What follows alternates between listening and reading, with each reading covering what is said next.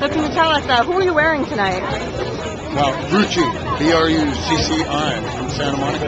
And uh, what inspired this outfit? I'm gonna get the outfit.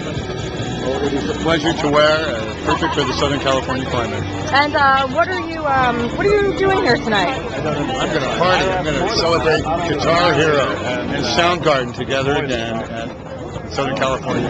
13 years. Are you a big fan of Soundgarden? You know, it's going to be my first exposure, actually.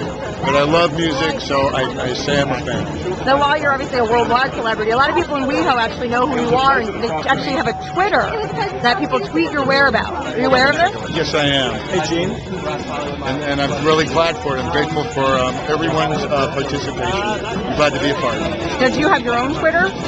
Um, uh, I, I'm not sure. I don't. I do not Twitter. You're not Twitter. And, and, for everyone out there, can you tell us, um, just give us a little bit of information about who you are and what your mission is here?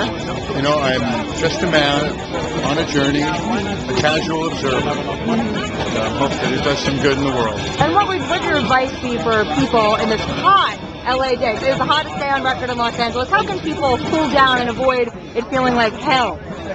Lots of fluids, preferably um, cold. All right. Well, thank you and enjoy your night. Lovely meeting you. Lovely meeting you too.